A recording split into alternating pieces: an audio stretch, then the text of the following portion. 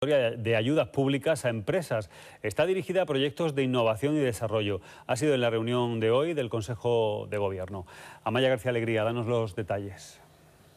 Este anuncio lo ha hecho el consejero de Innovación al presentar el balance de su legislatura de su departamento, en el que ha subrayado que Andalucía es la comunidad autónoma que más incentiva a sus empresas pese a la crisis.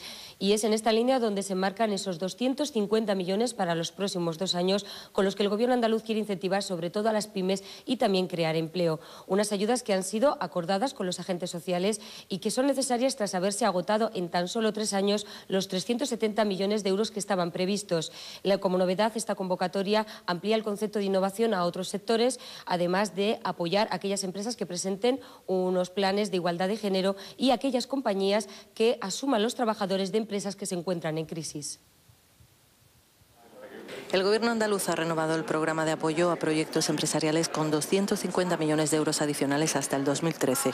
Según ha explicado el consejero de Economía, Antonio Ávila, esto convierte a Andalucía en la comunidad que ofrece el mayor sistema de fondos para apoyar a empresas después de haber superado las previsiones iniciales que han agotado en tres años lo que se presupuestó para cinco. Más de 6.000 proyectos empresariales apoyados, 7.800 nuevos empleos 370 millones de euros movilizados en incentivos para una inversión privada movilizada de 2.000 millones de euros y el apoyo a empresas en Andalucía que acumulan más de 350.000 trabajadores.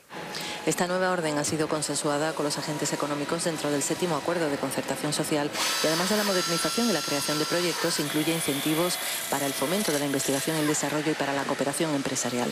La Junta quiere con ello contribuir a la creación y el mantenimiento del empleo en la comunidad, una línea de actuación que en opinión de Ávila ha sido la mantenida por el Gobierno en los últimos años de crisis y que pese a la destrucción de 10.000 empresas ha permitido la de otras 49.000 nuevas.